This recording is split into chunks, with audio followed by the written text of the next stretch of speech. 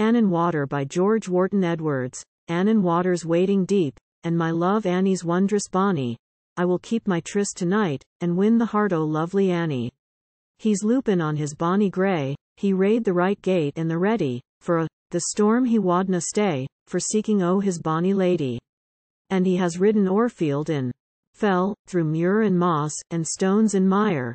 His spurs o steel were sair to bide, and frae her four feet flew the fire my bonny grey, no play your part. Gin ye be the steed that wins my dearie, we, corn and hay ye's be fed for I, and never spur sail mock, you weary. The grey was a mare, and a right good mare, but when she won the Annan water, she couldna hae found the ford that night had a thousand merks been wadded at her. O boatman, boatman, put off your boat, put off your boat for gowden money. But for the goad in fair Scotland, he dared not talk him through to Annie. Oh, I was sworn say late yestreen, not by a single eighth, but Mony. I'll cross the Drumly stream tonight, or never could I face my honey.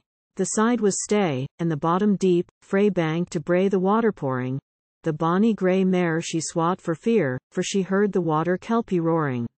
He spurred her forth into the flood, I wot she swam both strong and steady, but the stream was broad, her strength did fail, and he Never saw his bonny lady.